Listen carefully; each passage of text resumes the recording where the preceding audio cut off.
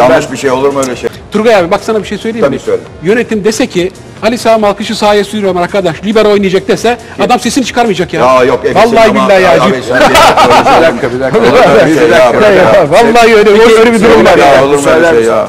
Yanlış bir şey olur mu öyle şey?